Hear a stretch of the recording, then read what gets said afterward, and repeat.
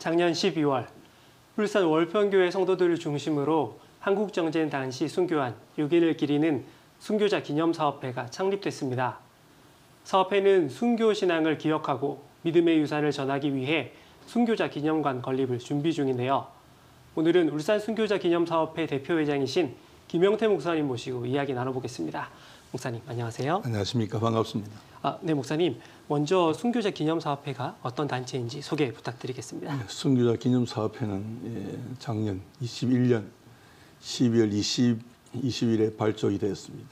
역사적으로는 기, 극히 짧은 역사죠.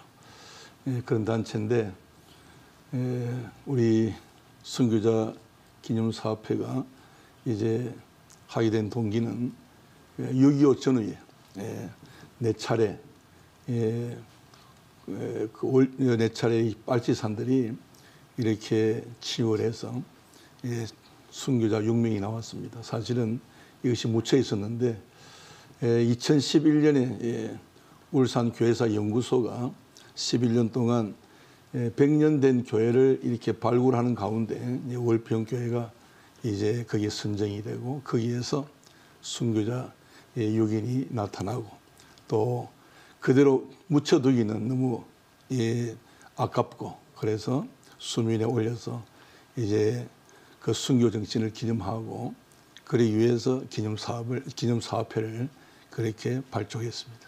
네, 순교 신앙을 잘 지키고 전하기 위해 어, 만들어진 단체인데요.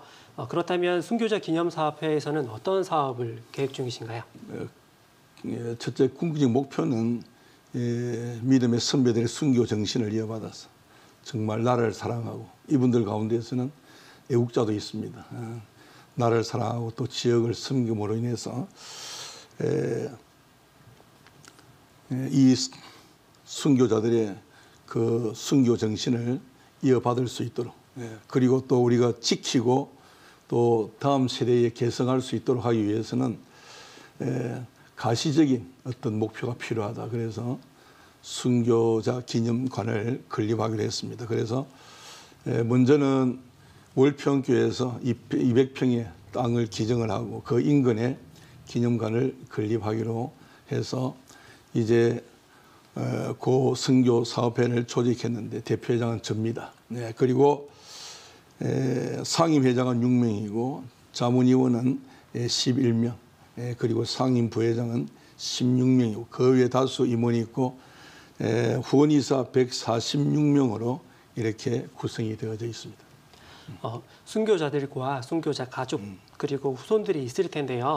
어, 교계에서 순교자 가족들을 어떻게 대우해야 하고 관리해야 하는지 말씀 부탁드리겠습니다. 우리 순교자 기념 사업회가 이게 아주 이게 조직된 지 얼마 안 되기 때문에 짧은 역사죠. 그래서 거기까지는 우리가 이제 생각을 못 한 것은 뭐 정부에서는 독립요공자든가 그다음 전사자들 가족에는 이 제도적으로 후원이 되지만 우리는 우선 이제 하는 것은 순교자의 정신을 기리기 위해서 예, 순교비 여섯 개를 이제 먼저 세우고 그리고 이제 울산을 비롯해서 흩어져 있는 순교자들에게 예, 예, 그들의 그 참 선조들의 그런 순교 정신을 또 다시 한번 고치를 시키고 우리 기념사가 할 수만 있다면 그게 가능하다면 우리가 정부에도 요청을 해서 순교자들의 후손들에게도 적절한 혜택이 돌아갈 수 있도록 그렇게 노력을 하고 연구를 하고 있습니다.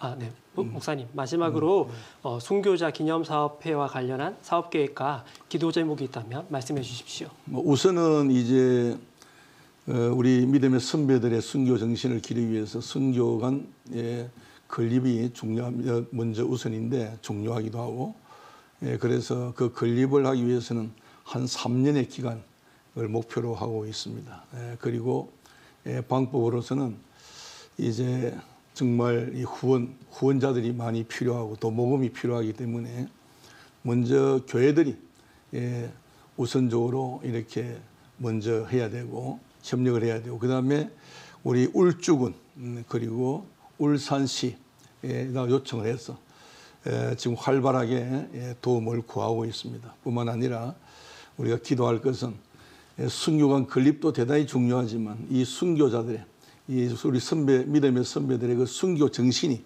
계속 뜨겁게 정말 이어갈 수 있도록 그리고 교회가 이 순교자들의 순교 정신을 다시 한번 회복할 수 있는 에, 이 일을 위해서 우리가 정말 에, 우리 울산을 위시해서 전국 교회가 좀 힘을 모아서 기도해 주시면 참 좋겠다고 생각합니다.